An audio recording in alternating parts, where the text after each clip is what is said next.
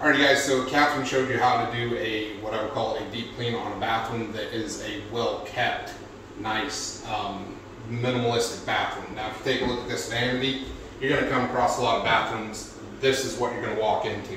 You do not have time to pick up and wipe under every single thing and then wipe down each individual deal. So this is what we're gonna do instead. To uh, get the job done the way they want it done and to uh, make it as efficient as possible, I am gonna take my DZ7, I'm gonna spray, I'm gonna spray everything. I'm gonna stop up until the point of where they have stuff, right? I'm gonna get this open space, if there is any open space, if there's not, you're gonna have to create some.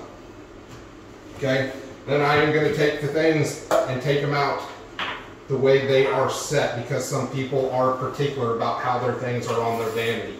So if you notice, it's pretty much like it was back there, it's just moved forward. I'm spraying, I'm hitting it, okay? Now everything just goes back.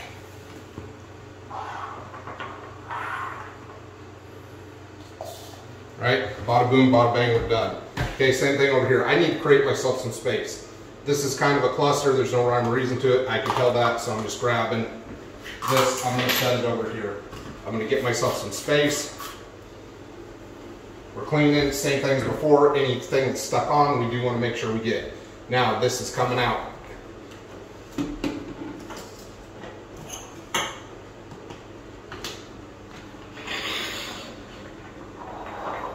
It came out to the area I was in.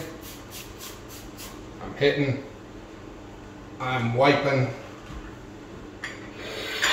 everything's going back.